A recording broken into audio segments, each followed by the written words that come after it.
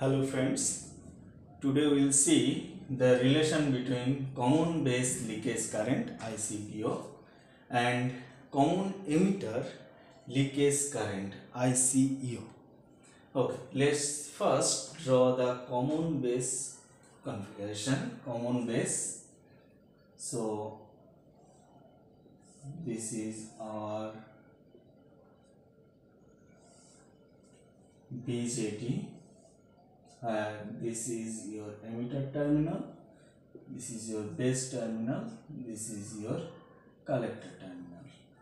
Our base is common to input and output. So this is your input. Here we are getting the output. Now base emitter is in forward bias. So base forward bias and base collector is in reverse bias so this is your npn npn transistor. So this terminal collector terminal connected to the positive and the base terminal is connected to negative now this is common base terminal is common to the input and the output. So this is your common base circuit here. Now leakage current is given the ICBO common base leakage current. Now if I want to find out the relation between the common base and common emitter for common base, output current is IC and input current is IE.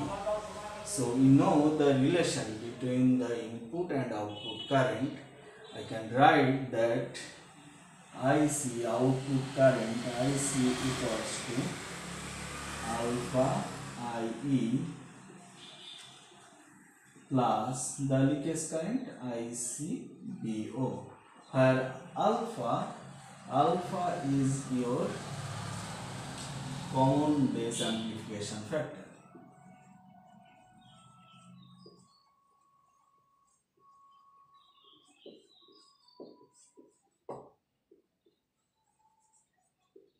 Amplification factor.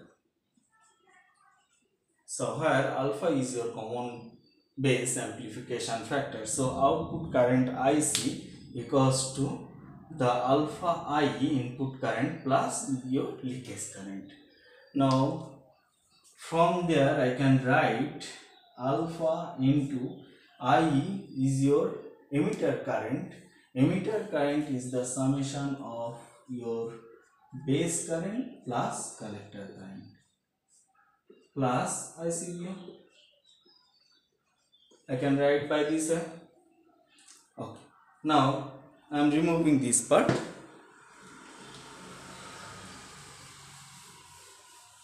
Okay. Then from there I can write IC equals to alpha IB plus alpha IC plus ICBO. Okay. Now, what is the relation between alpha and beta?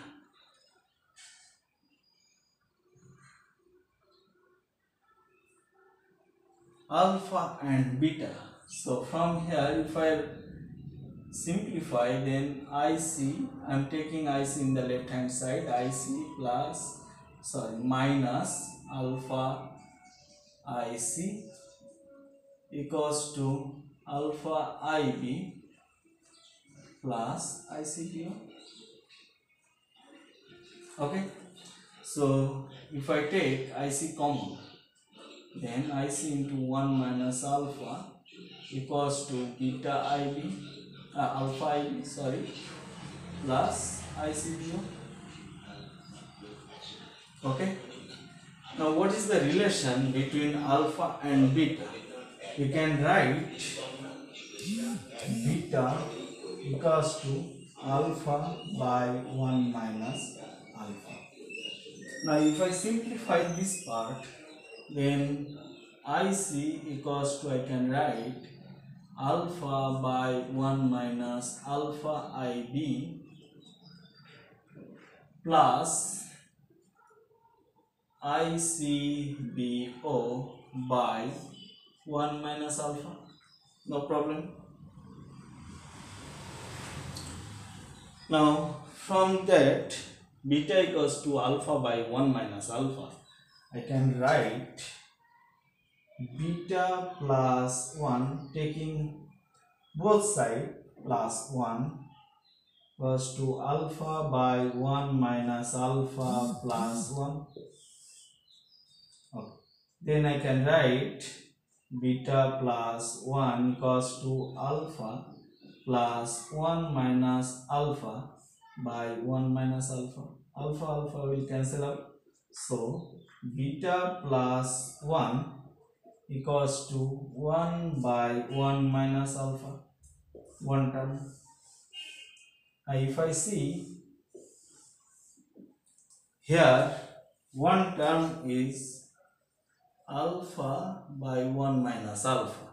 And another term is if I take here 1 into then this is 1 by 1 minus alpha. So I can write that part. Now I can write this IC equals to IC equals to this is your beta IB plus plus 1 by 1 minus alpha that is beta plus 1 into ICBO. Now beta is your what is beta? Beta is the amplification factor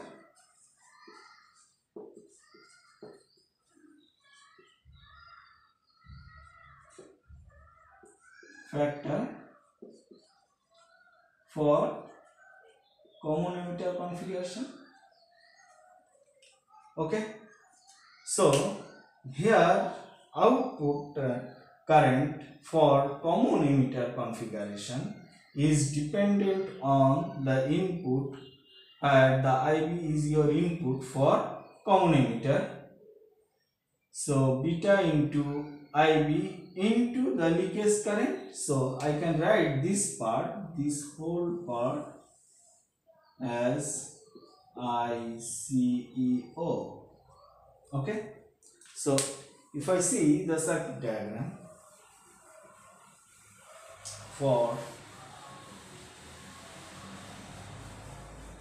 emitter configuration there you can see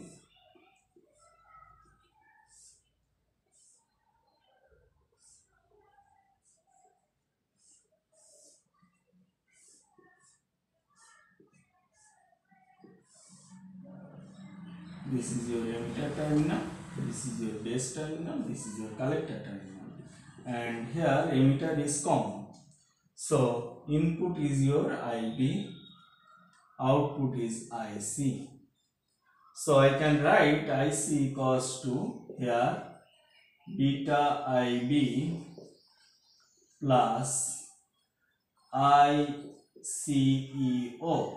where iceo is your common emitter leakage current equals to I can write from here equals to beta plus 1 into ICBO.